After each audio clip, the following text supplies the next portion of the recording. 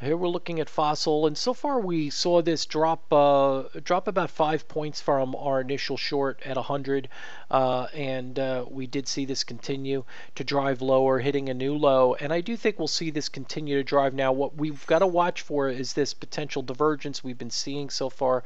We've got to uh, see if we see this break uh, this new low. We want to see continued momentum. If we see momentum taking this out in this range, then we probably will see a pretty good uh, move, probably to the 91 or lower range. Uh, I do think that we've been seeing this overall market way overextended. When you look at this on this, you could see that you had the three highs here, and this could really start to break down into the 60 or lower.